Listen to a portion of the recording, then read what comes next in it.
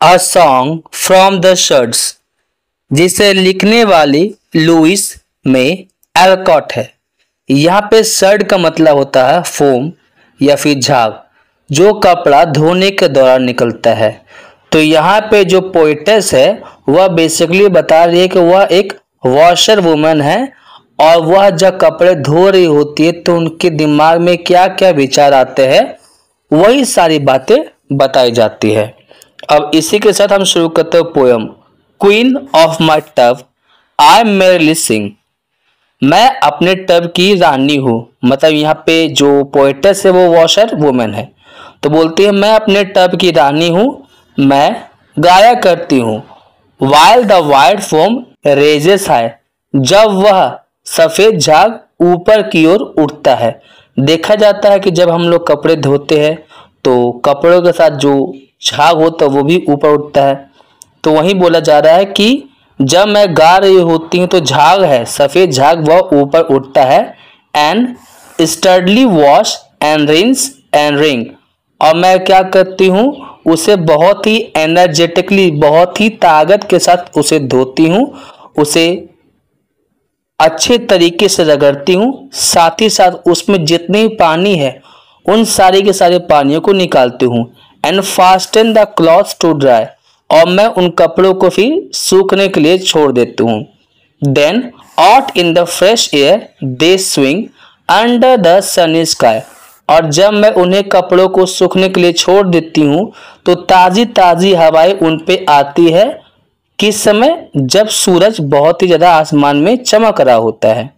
I wish we could wash from our heart and our soul the stains of the week away अब यहाँ पे poets बोलती कि मैं उम्मीद करती हूँ कि इसी तरीके से हम हमारे दिल और हमारी आत्मा में जितनी भी गंदगी है, जो हर सप्ताह हमारे शरीर में आता है तो जिस तरीके से मैं कपड़े को धोती हूँ, उसी तरीके से हमारे मन, आत्मा और शरीर से सारी की सारी गंदगी चली जाए। And let water and air by their magic make ourselves as pure as they. और फिर उसके बाद मैं पानी और हवा को उनकी मैजिक करने के लिए अप्लाई करूँगी। मतलब जिस तरीके से जब हम कपड़े को धोते हैं और उसे साफ़ करने में पानी और हवा का बहुत इम्पोर्टेंस रहता है, उसी तरीके से यह बोला जा रहा है कि मैं अपने शरीर से, वो जितने भी दिल में और आत्मा में जितनी भी गंदगी है उसे इस तरीके से साफ़ करूँ कि जो हवा और पानी है, वह अपने, वह खुद जिस तरीके से प्योर है, वह हमें भी प्योर बना दे। Then on the earth there would be indeed a glorious washing day तो इस तरीके से इस संसार में एक ऐसा दिन आएगा, जब हम लोग एक ग्लोरियस वॉशिंग डे मनाएँगे। मतलब किसी की भी ज़िंदगी में किसी भी तरह का नेगेटिविटी हमें देखने को नहीं मिलेगी।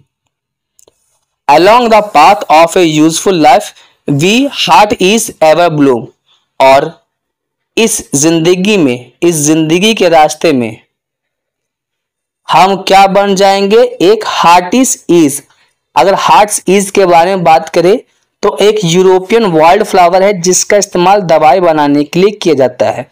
तो बोला जाता है कि अगर हम पूरी तरीके से पॉजिटिविटी से भरे हुए रहेंगे तो हम भी एक हार्ट्स इज़ जैसा फूल बन जाएँगे, जो चारों ओर महकेंगे। The busy mind has no time to think of sorrow or care और ग्लूम एक बिज़ी माइंड जब पूरी तरीके से बिज़ी रहता है तो उसके पास समय नहीं रहता है, उदास होने का या फिर दुखी होने का। हमें देखने को भी मिलता है, जब कभी भी हम लोग फ्री होते हैं तो हमारे दिमाग में बहुत तरह की नेगेटिविटी आती है। इसलिए फ्री माइंड रखना ही नहीं चाहिए, खुद को हमेशा बिज़ी रखना चाहिए। An anxious thought may be swept away as we busily wield a broom. और हम पूरी तरीके से अगर बिज़ी होंगे तो जितनी भी तरह के थॉट्स आते हैं, वह इस तरीके से गायब हो जाएँगे, जिस तरीके से हम लोग झाड़ू से अपने घर की गंदगी को गायब करते हैं।